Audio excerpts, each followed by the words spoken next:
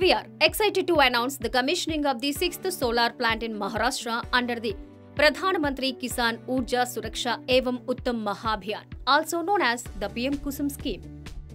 This 4 megawatt plant situated in the Vavdi, Amalner Taluka, Jalgaon district, in a significant milestone in our journey towards a sustainable future. Farmers will greatly benefit from this project, which harnesses the sun's power to provide clean and affordable electricity for growing crops. This project aligns perfectly with the government's vision of a sustainable India.